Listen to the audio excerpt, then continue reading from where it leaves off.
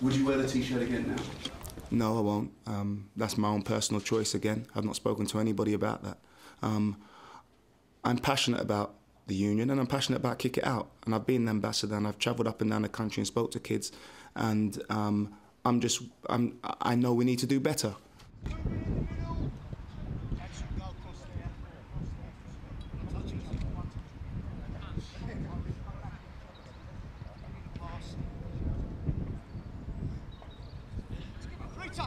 Well, I think last year um, shone a light on the issue, on the racism issue. Um, you know, not to go into specific issues, but I think um, you know things could have been handled better from everybody.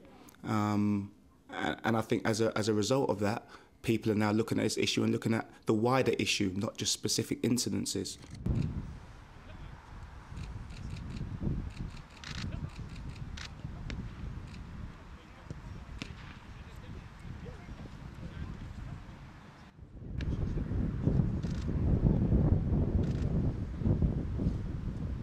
The steps they've put out there are a step in the right direction. We need to make sure we act on them as much as possible. We, have to, we need to make sure we listen to the players. And I think over the past year, um, we haven't moved as fast as we need to move. So hopefully now there'll be an urgency about, um, about moving, in, moving in that direction quicker.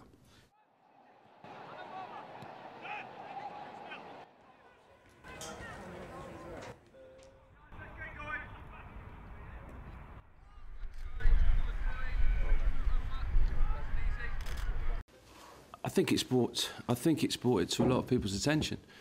You know, I think people put T-shirts on and um, once a year, put badges on once a year, and then they do it the following year, and they do it the following year. But this has brought a lot to uh, a lot of attention, good attention. Things are starting to be done, and um, I think what Jason's done has been really, really good. You know, Rio Ferdinand and, and his brothers come out and spoken as well. Um, but I think the most important thing is, you know, that we all go, move on together now, which is very, very important. You know, um, kick it out campaign. You know, Jason wasn't um, protesting against them. He's actually spoken in the in the papers lately and said, you know, they need more funding, they need more help.